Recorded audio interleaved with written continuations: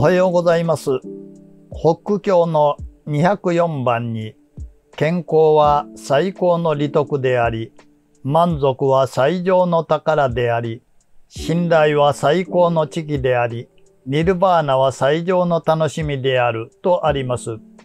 これは岩波文庫、ブッダの言葉、環境の言葉にある中村はじめ先生の訳であります。健康であることは何よりありがたいことであります。前奏は健康で長生きと思われることが多いようです。確かに長生きのお坊さんは多いように感じます。法然上人80歳、親鸞上人89歳、英才前寺74歳、一休前寺88歳と長生きが多いようです。もっとも一辺商人は50歳、道元禅師は53歳というように、あるいは一子文殊仏頂禅師は39歳という方もいらっしゃいます。長生きと思う前奏ですが、膝を壊すことが多いように感じています。やはりこれは長い時間座るからだと思います。思えば先代の館長もまた60歳を過ぎてからは膝の不調を訴えるようになっていました。膝を痛めるというのは日常でもとても困ることであります。私の知り合いの前奏でも膝を壊したとか膝の手術をしたという方が結構いらっしゃいます。幸い私はまだ60ということもあり、膝が悪いということはありません。それでも膝を痛めないようにと日々気をつけています。最近でも私よりまだ若いそうで膝が悪くて座れないという話を耳にしました。修行道場で若い修行僧を預かっていますので、最近の修行僧が座ることに慣れていないというのは強く感じています。お寺のお子さんでも修行道場に入るまではずっと椅子の暮らしをしていたという方がほとんどであります。修行道場に入って初めて正座をするとか座禅するという体験をする者が多いのであります。かつては外国の方に正座をさせるのは無理だと言われていました。それは今や外国の方の話だけではなくなりました。お寺のお子さんでもそうなのであります。大学を出るまで一度も正座も座禅もしたことがないというと股関節がすでに固まってしまっていることがあります。股関節インピンジメントという場合もあります。股関節インピンジメントというのは股関節を形成している大腿骨や肝呼吸の構造的問題のために股関節の周辺構造に微細な損傷や変性をきたす疾患であります。これは長時間の歩行や長時間座ることによって痛みが強くなります。変形性股関節症の初期病変の一つとも考えられていたものです。そんな股関節の問題が修行道場に入ってから気がつくこともあるものです。かつては修行道場では無理やりでも結果不座や半下不座を組ませてじっと座らせるようにしていたものです。しかしこれはある程度座った経験があればその苦痛に耐えて慣れていくこともあります。しかし股関節に問題があればこれは無理でしかありません。結果不座というのはなかなか慣れないと難しい座り方です。特に股関節が十分に外旋しないと足をももの上に乗せると膝を壊す原因になるものです。膝というのはねじることができない関節なのであります。それでも無理やり座らせていたものですから、運よく膝を痛めずに済んだ者もいますし、膝を壊してしまうこともあるのです。この頃はよくその点を考慮して座るようにしています。特に今まで全く座ったこともない人に座ってもらうには慎重になります。よく股関節をほぐすように時間をかけています。毎日時間をかけることも大事ですが、それを毎日毎日継続して1年2年とかけて行うことも大事なのです。接心の時になれば必ず皆で真っ向法を行ったり、私も夕方30分から小1時間かけて体をほぐすように体操をしています。私も真っ向法を毎日行って40年以上経ちます。他にいろんな体操、身体技法を習ってきました。まだ館長になる前は外に出かけることもほとんどなく、時間の余裕もあったので、毎週いろんな体操を教わっていました。幸い、沖正弘先生のもとでヨガを習っていた方がいらっしゃっていろいろ教えてもらいました。沖先生のヨガだけでなく、西式健康法の体操や橋本慶道先生の相対法なども教えてもらっていました。そんなことが今役に立って若い修行僧たちに教えながら自分も行っています。修行僧たちは素直に感じてくれるものです。意外に西式健康法の毛管運動などがいいと喜んでくれたりします。それから古来神道に行われていたという振り玉や、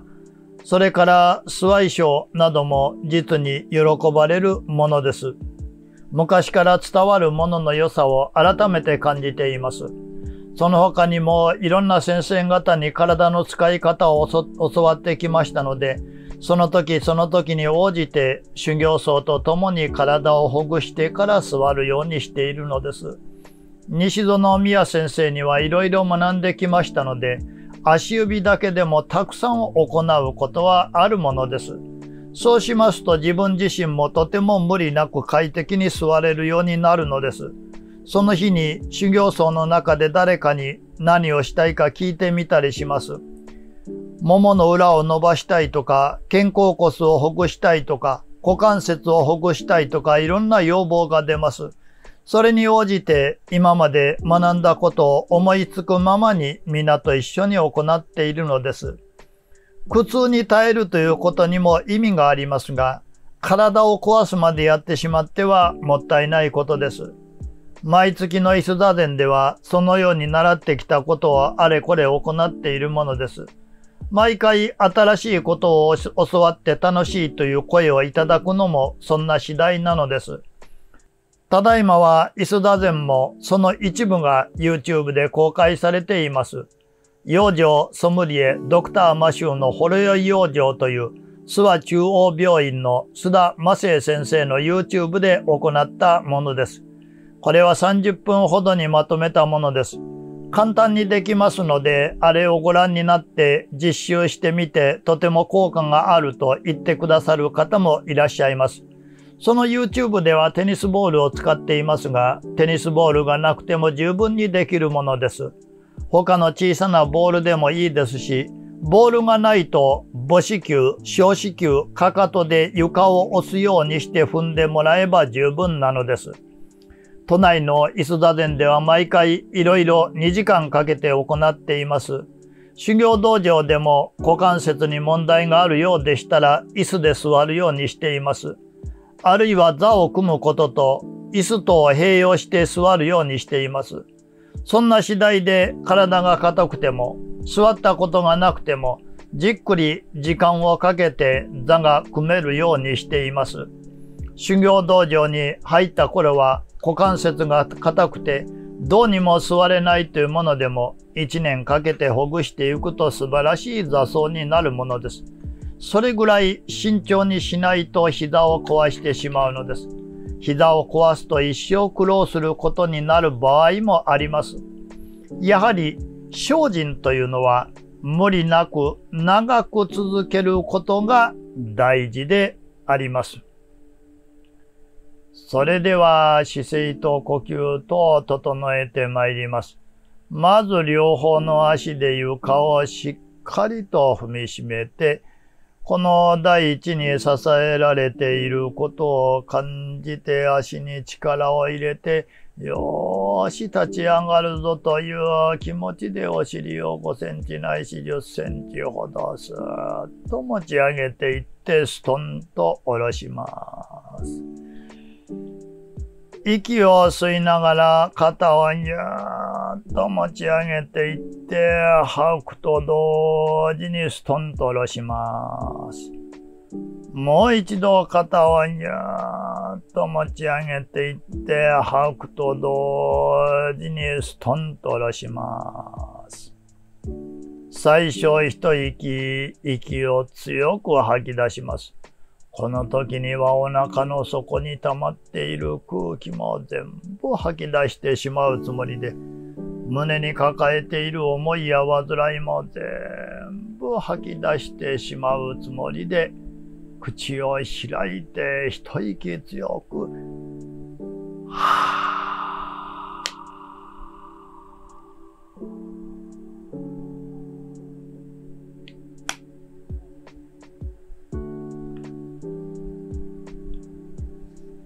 と吐き出して口を閉じますと、